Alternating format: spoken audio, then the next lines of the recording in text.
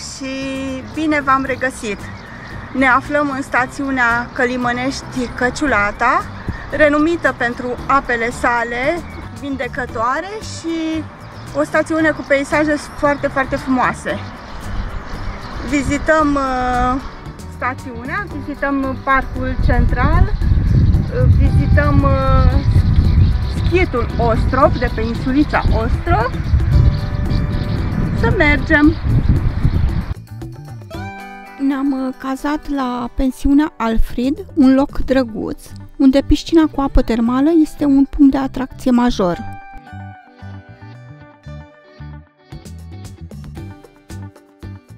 Stațiunea oferă numeroase oportunități de explorare, vile frumoase, hoteluri, parcuri, magazine, terase, piscine, se pot face drumeții, plimbări cu vaporașul, are ceva pentru fiecare.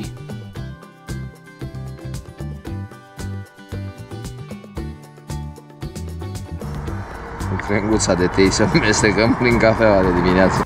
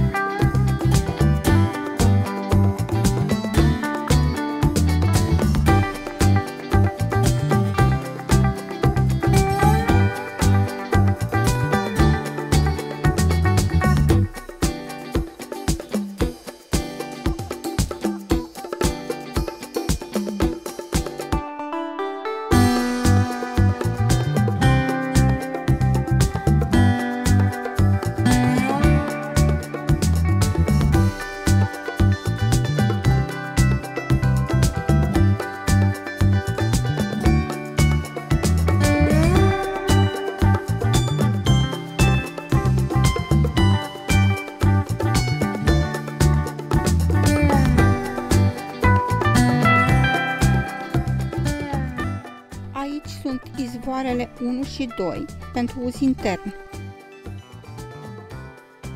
Izvorul 1, utilizat în uh, tratarea bolilor de rinichi,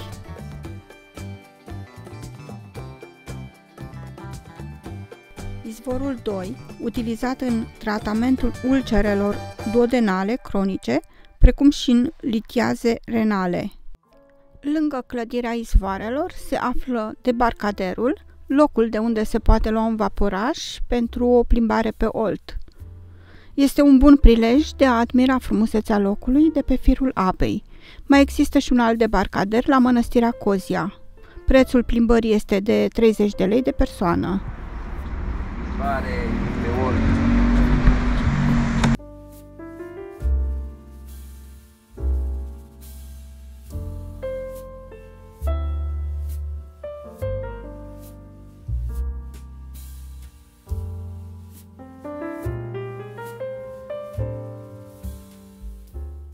Aici sunt uh, cele trei hoteluri, Cozia, Oltul și Căciulata și un frumos aquapark cu ape termale și topogane.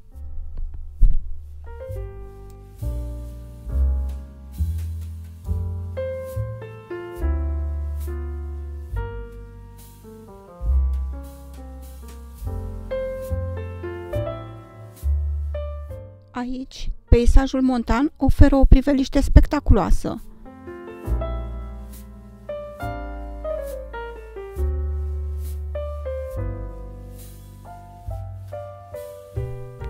Partea stângă, mănăstirea Cozia, ctitoria lui Mircea cel Bătrân, așezată pe malul râului, oferă un decor impresionant, fiind înconjurată de munți și vegetație.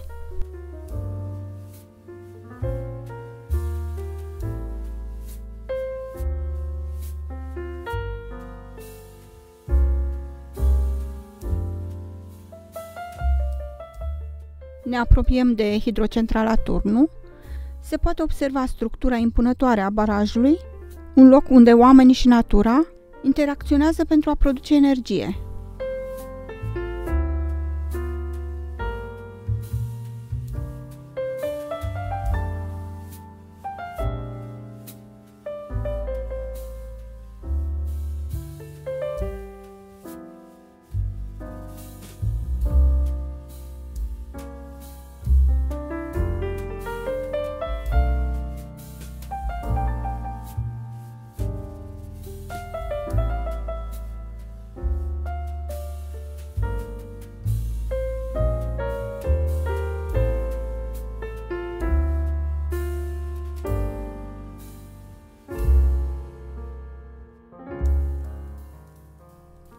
Vaporașul, în aval, ajunge până aproape de insulița Ostrov, un loc plin de frumusețe, liniște și spiritualitate.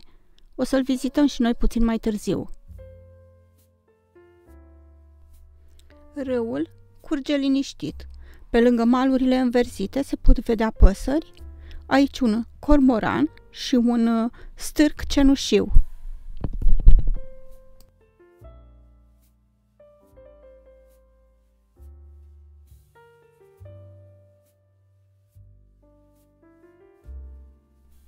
Pavilionul central, construit în stil baroc între anii 1907-1911. Ostrovul este o insulă a Oltului legată de Călimănești printr-un pod de beton. Este o insulă ce dă un farmec deosebit stațiunii Călimănești.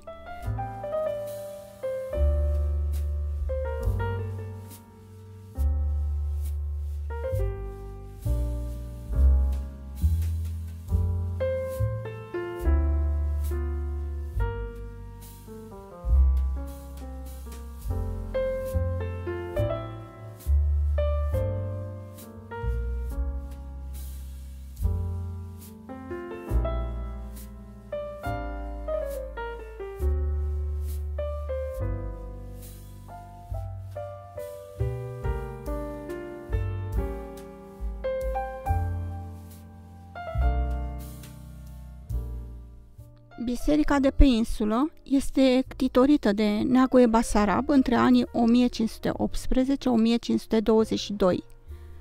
După moartea acestuia, în 1521, lucrările au fost continuate de soția sa, Despina.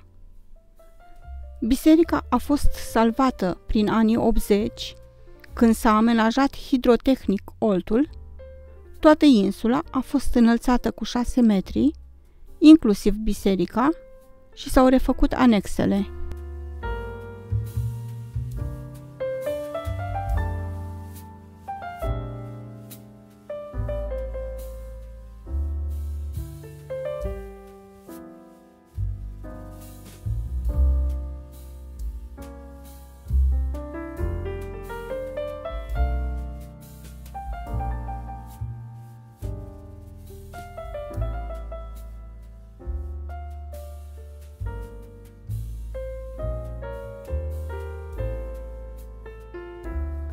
A fost o zi minunată în Călimănești Căciulata, cu peisaje superbe, ape termale revigorante și o bogată istorie culturală. Sperăm că v-a plăcut să ne însoțiți și că veți veni să descoperiți acest loc minunat. La revedere și călătorii frumoase!